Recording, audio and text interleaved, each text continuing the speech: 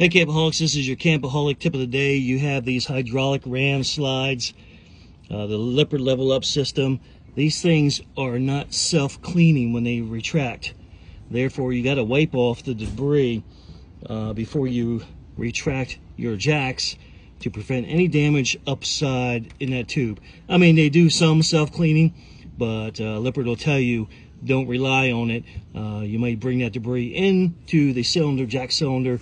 So I always wipe these down before I retract the jack.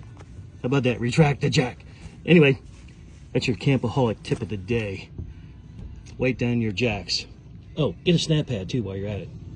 See ya.